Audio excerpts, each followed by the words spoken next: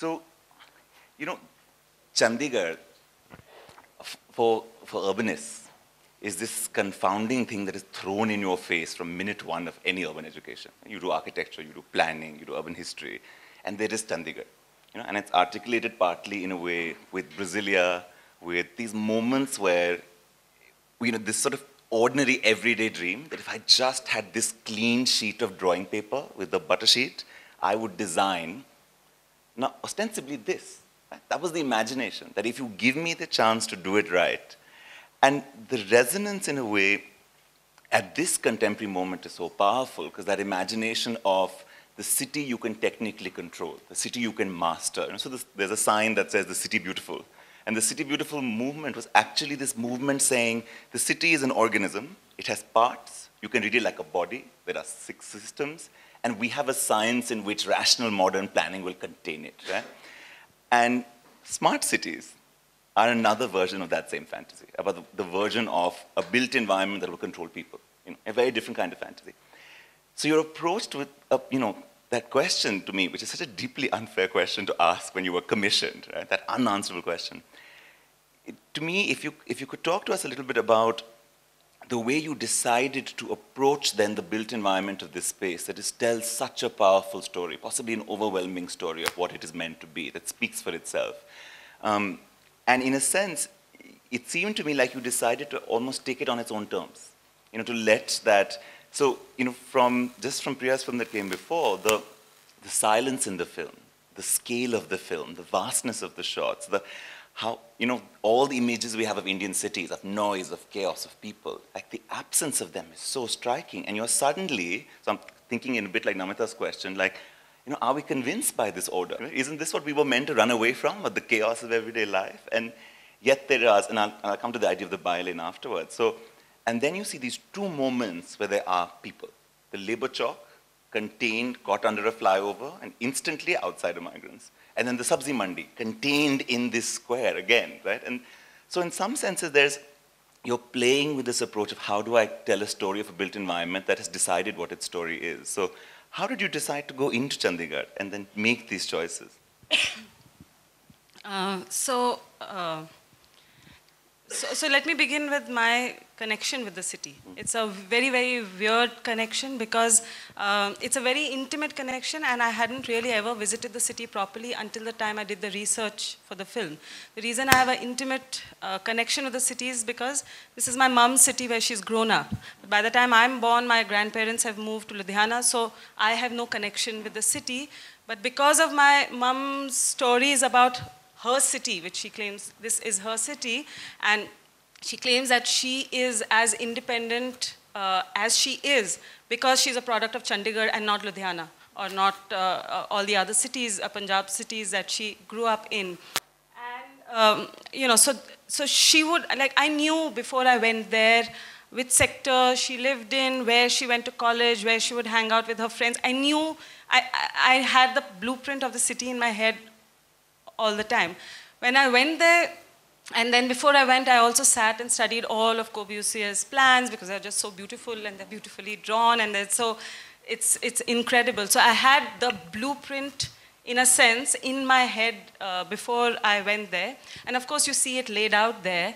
And I could not come to terms with how intensely suffocated I felt there. And I had to figure a way of understanding that. And so, you know, when uh, for the first time I had actually decided how to shoot. Normally I just take the camera and then we, you know, the crew and me just respond to situations. Here I knew I was looking at, you know, the, if you all are familiar with Corbusier, you know that it's a grid, it's a grid that we are thinking of, right? He's sort of made, so, so I was thinking of it in two ways that, okay, there is the grid and how do you fit people into a grid?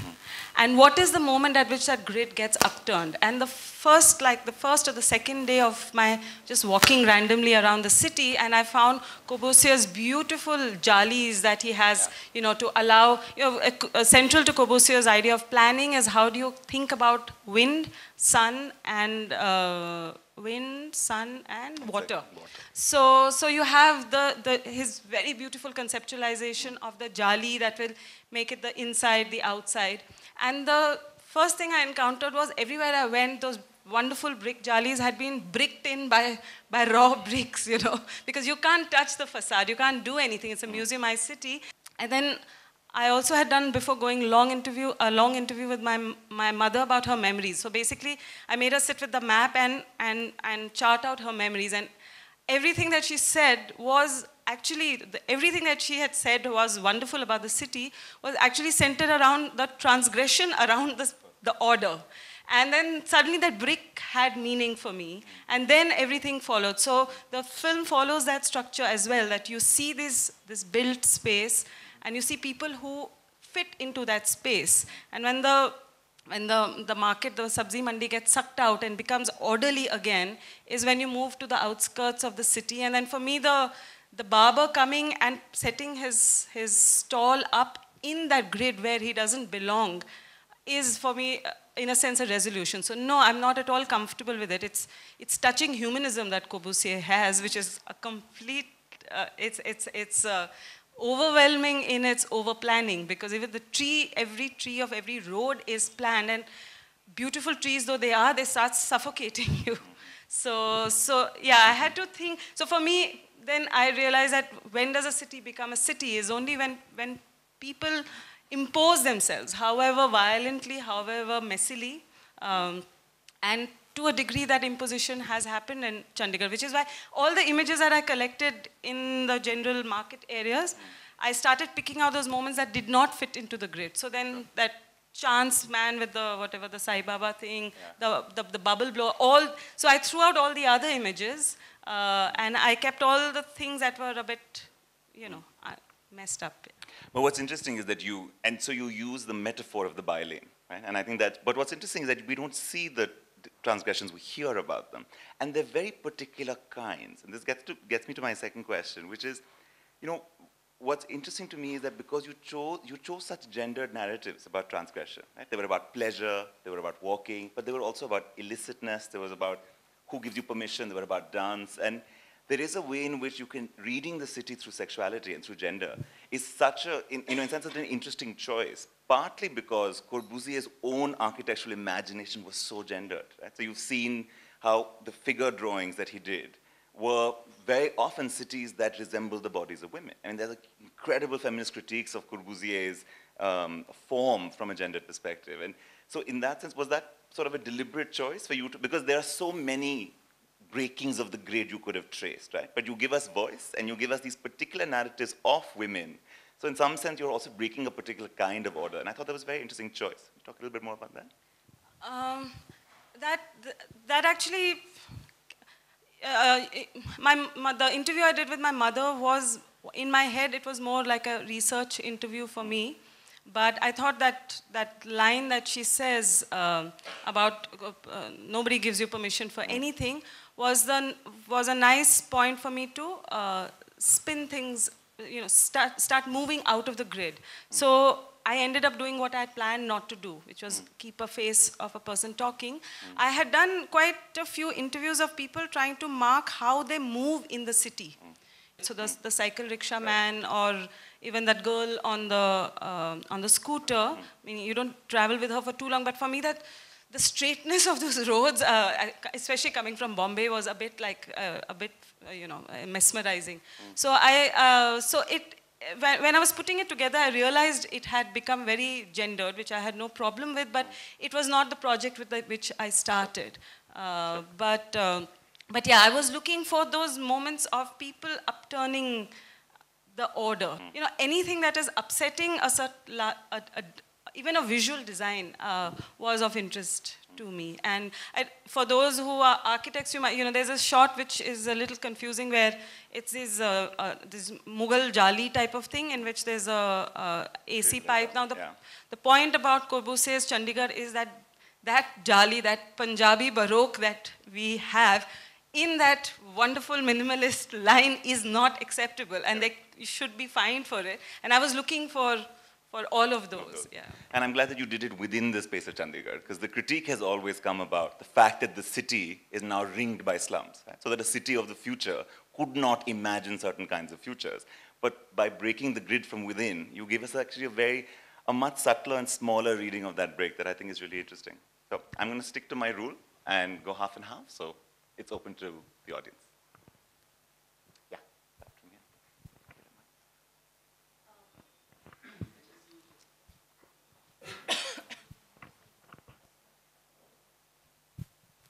Uh, actually, I had uh, similar like uh, thoughts how the city evolves, and and he just mentioned that it's again ringed by slums. How does the city now the grids? How do they evolve? Um, because it's been a long while since Corbusier did that, so No, they. Uh, they don't allow. Yeah, it's, it's a, in a sense a museumized city. You aren't allowed to make any changes to even the jali. So at best you can stuff the jali because everyone's saying it's a very sweet imagination, but it's too hot or too cold. So, you know, we have, and it's too crowded. So we don't want people to be able to see our courtyard or whatever it is. So no, the streets are exactly as they are. If two brothers uh, divide, then they live with it or they move into the, the, the, the, the you know, the semi-sprawls that have come up outside. But this landscape necessarily has to be unchanging. And And, no they are even more, uh, uh, the, the, the, the city is even more invested in it because they want the UNESCO heritage status. So that invest, and you know, we, we, we, in the morning we began with a film that had a sense of loss about the changing landscape of Bangalore, and which is why this film Presence came about. This is precisely the inverse problem that it is unchanging. And I'm, my mum would on the phone say, go straight, take the second turning to the left, and then you'll reach our old house. And I would actually reach the old house. And I could see, you know, the mango tree that she spoke about. And it was a bit bizarre. You know, it's, uh, I think, a bit ridiculous that 50 years later, she can give me directions over the phone about which left and which right to take. Take the mic. On the same hand, if you see the architecture remains fixed, but I think you have captured the empty ground where was there was a lot of pile and dust and all those things, the garbage, glass garbage and all those things.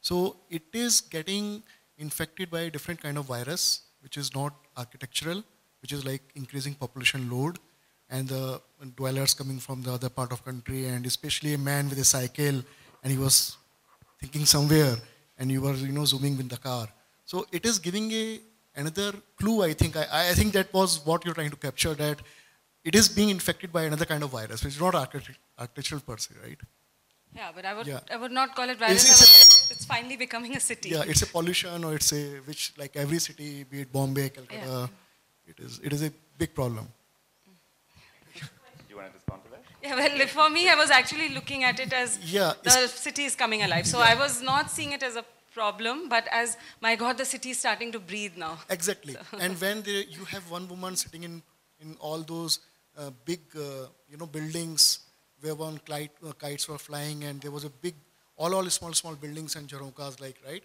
It says about mushrooming of the small, small houses. There's another problem which you captured, right? Yeah, and that is actually the edge of the city. It's not Corbusier Absolutely. city. Yeah, yeah. and, I, and I think you know this is the tension of reading built environments is they, in the end, have to be have to contend with the fact that they were built for people to live through them and within them, not for them to stand on their own as ends. And that's partly the tension of the tension of order and life, in a sense, and that sense of containment. That planning is always it's one of its sort of foundational foundationalist fictions.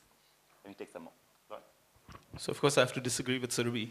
Uh, and my disagreement is on your rendering modernism legible, right? In the sense that there are various ways of answering the question when does a city become a city? And the classical one, which all of us, not having you know, lived in Chandigarh and accustomed to the chaos of the Indian city, knows that the breathing of the city is precisely outside of its planned nature. The film actually begins in a way with this kind of tabula rasa form where you're showing me something which is absolutely illegible to me because precisely of a science fiction like quality that it, it, it has. But then you go to make it, you know, kind of legible by showing me these chaotic spaces or the presence of disorder within, within order. And I was wondering why you would do that because it would have been a much more strange answer to actually, you know, to, to, to- answer the question of when does the city become a city, because here we have the obvious one, which is that jab jaan hai. And the jaan is, of course, from people and, and the mandi, etc. What would it be to answer the, the question by showing me only the dystopic utopia that, you know, that, that, that, that the plan has? So in, in a sense, I think that, you know, in, in literature, there's this idea of the necessary word. And for me here, the, the challenge is when you're making a, a kind of a tableau film like this, what is the necessary image? And why was it the necessary image to have the barber, to have the unplanned coming into this? You know, I, th- I think it, that, was, that is for me the unnecessary image.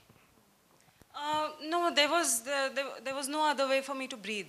So so so while while I had images to construct that that, that the dystopic, and uh, so you know my first edit was of course being Surabhi was uh, for a 12-minute film was some 45 minutes, and that first whatever 15 20 minute sequence of um, of, of the, the build structure without even a human presence. Uh, it's only possible in Chandigarh to get those shots actually. Um, was, was, was very interesting and was holding, uh, uh, was, but was not telling me anything beyond the very obvious critique of when a super planned uh, space that is closed and that, that, that doesn't breathe. Uh, so I finally found I found it not telling me, uh, not opening out a way of thinking about it other than the obvious. Uh, so, so I, I, I, you know, as a filmmaker, could not, could not get away around staying within that space. I found it too, too dead. Uh, for me, the fact that there are two faces talking in the film is my giving up in a sense. For me, I wish that those, those, uh, those brick uh, stuffing up the jalis was what I could have stayed with eventually uh, to break that, that grid. But I, I, I, didn't find too much happening beyond. In, you, you know, other than a hyper dystopia, it wasn't doing much for me. So I just uh, did not stay within that. For me, the barber, and for me, the barber was more interesting than, let's say, being on the edge of the city where the kite flying is happening, precisely because he has um, created, you know, he has planted himself in the grid that did not imagine his presence ever. And that for me then became uh, fun. It is, it, is, uh, it is not a very complex reading, but that as a filmmaker, that's the sequence that made me start breathing. I had to breathe. So usually they follow the European or the, uh, um, the American model where uh, the cities are mostly planned for the cars as such, the roads, the long roads, the wide roads and stuff. Um, so there's a different, uh, there's a certain violence in it in, in a sense when they try to plan, plan it as such. And when the comment that you made that when only when the city only becomes a city when people actually uh, make it their own. Uh, one of the examples you can see is in Ahmedabad itself, where uh, where you have two sides. You have the old city and the new city. So uh, when when I see Ahmedabad as such, you see the new city part, part, and then you feel there's no character in it. Um, this is what I see when, whenever I see even Navi Mumbai too. Uh, there's a sense of character which is lacking. And, but when you go to the old city parts and then you're sort of home. So is this that we are just trying to blindly import this whole well, notion this is, of... This is anything but the American model. Corbusier brings in a very different sensibility, a very different aesthetic, and which is why uh, Nehru invited him. Uh, you know, the, the context is a state that has lost its capital after partition. So you're sort of drawing up a new sense of history, and uh, it, it is a very sophisticated, very complex uh, aesthetic uh, and, and worldview that informs Chandigarh. So Chandigarh is, is far more interesting than, let's say, Gandhinagar or, or New Bombay. Um, precisely because of, uh, you know, at that moment of time that it, it happens. So no, I wasn't uh, working with a fixed idea of a city. Coming from Bombay is hard to start conceptualizing as well. Uh, for 12 years as a filmmaker, that's all I'm trying to do. So no, I did not have that sense of the city. Um, I was trying to sort of uh, uh, contend with Corbusier's imagination and what it, it has meant in, in all these years. So it, it was a much narrower idea with which I was going. Uh, I also think that the film is the way it is because I carry a lot of the baggage of a Bombay lived experience. Uh, you know, uh, a lot of our Chandigarh friends and relatives don't see what is bothering me. They think, that, you know, aren't you relieved that this is such a beautiful city? Like, what, why would you be bothered? Which is, I think, Lawrence's challenge about can you make a dystopia, that the dystopia itself is contested. Because I think what we have to take really seriously, especially in a moment like today, is that order retains its seduction. And not just for planners, but for residents. Yeah, That order retains, and order is now tied up with notions of efficiency, of transparency, of good governance, of control, and a very particular notion of how intention can follow. And I think in ways that they come out very, very clearly. And I'm reminded very much of, you know, an interesting contrast also where you go from here would be to think about the different intentions of someone like Oscar Niemeyer, tasked with building Brasilia. At that point, a member of the Communist Party who sought to make not just a modern city, but a radically egalitarian one, to the point where you couldn't close the Jali. In Brasilia, you weren't allowed to have curtains because the transparency was you were meant to see through the straight road, the avenue, the vista.